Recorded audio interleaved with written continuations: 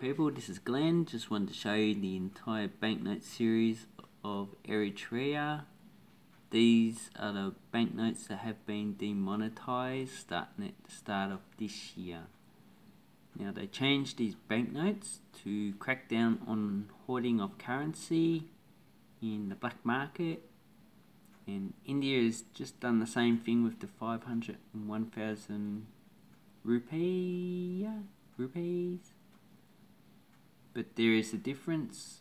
People actually had time to change the Eritrean banknotes over. And they did have limits, but if it was all legal, they most likely had no limit. Okay, I'll go down. There's a one nakfa, five. These are all just generic pictures of people. Now here's the 10 Nakfa. The 2012 one was issued sometime after that. Both of these banknotes continued to circulate until the end of 2015. As you can see on these banknotes, the raised edge here, if you rub it, be raised. The ink is also raised. And you have features here, just here for the blind.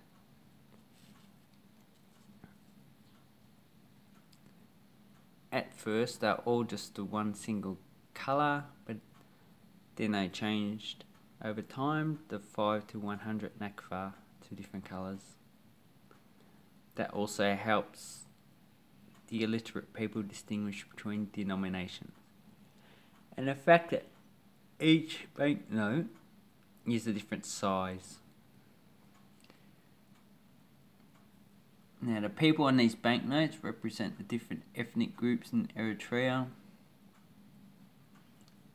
Okay, this is uh, representing Eritrean independence and victory. This is the national animal. This is in the local language, probably uh, Tigray. This is probably in Arabic. And as you can see, the language they've adopted has been English.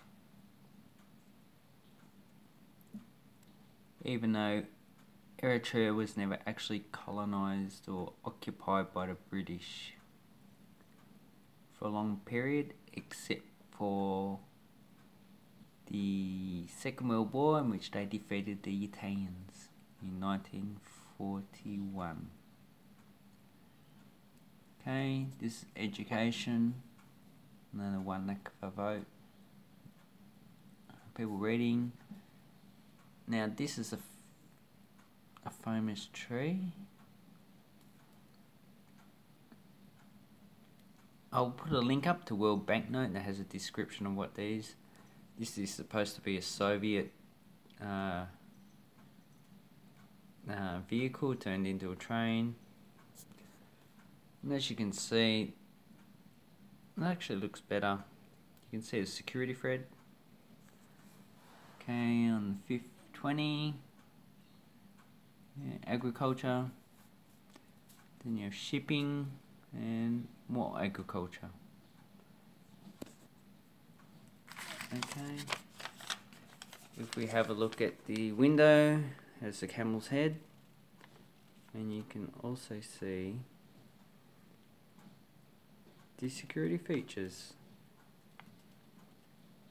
And the 5 to 100 Nakfa also has this metallic foil which the camels on it do change colour and it's the same for all the banknotes.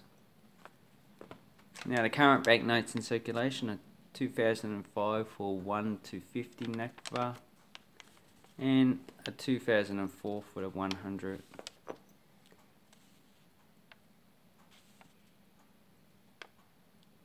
Oh, sorry, I was wrong. It's 2011 for the 100. Okay, so I hope you enjoyed that presentation. And I encourage you to actually collect these banknotes even though all the series, the design is the same, the colors change. Okay, thank you. Bye bye.